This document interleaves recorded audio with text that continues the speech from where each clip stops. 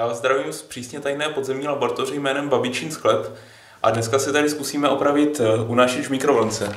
Tady jak to mikrovlnka, prý sem netočí ten talíř, takže se to v některých místech připaluje, když tam člověk pokusí něco ohřívat a v některých se to naopak neudělá.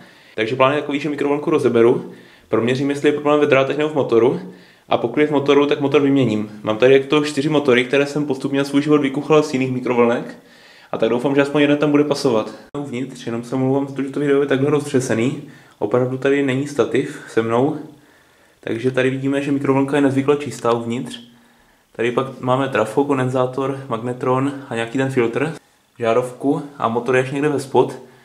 A tato mikrovlnka bohužel má dno z jednoho plechu, že ho nemá rozbíratelný, a takže se tam postupně budu muset dostat.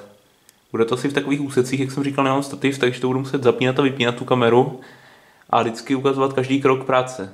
Můžeme vidět, že je to celkem kvalitní výrobek, protože má relativně tlustý kabely. Když se třeba nějaký ty azijský Sharp nebo tak, tak ty mají extrémně tenký naopak. A mě zajímá motor, který je až tam někde dole eh, pod samotnou komorou. Teď je tak to trošku vidět, doufám. Tak můžeme zde vidět, že vynutí motoru je přerušené. Měřím tady teďka na 200 kΩ rozsah a motor je přerušený. Tady mám teďka overrange stále což jednoduše opravu, proč nebudu muset hledat problém ve, ve drátech a jenom vyměním motor. Takže já se podívám, který z těchto motorů je mu nejpodobnější, nebo který je ideálně úplně stejný, a tyto dva kusy vyměním. Tak nový motor je na svém místě, jinak teda funkční motor má odpor vynutí asi nějakých 12 kΩ, takže já teďka mikrovlnku sestavím, což bude asi nejsložitější událost celé opravy a podíváme se, jestli už se talíř bude točit.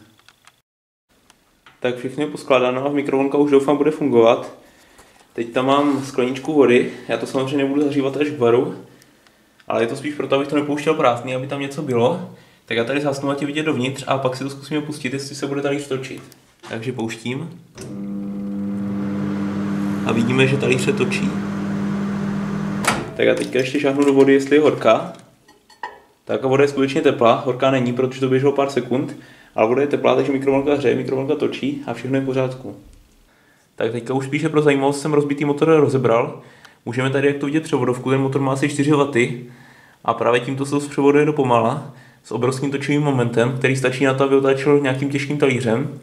A je to synchronní motor, takže tady máme takto statorové vynutí. Tady je v podstatě takto jedna cívka navinutá a uvnitř je kotva s permanentním magnetem.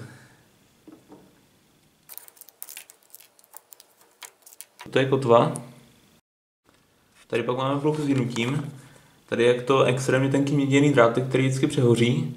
A tady jsou to dva fastony, takže nic dalšího v tom není, složitějšího. A tady je teda klouzné ložisko, na kterým je nasunutá tato kotva.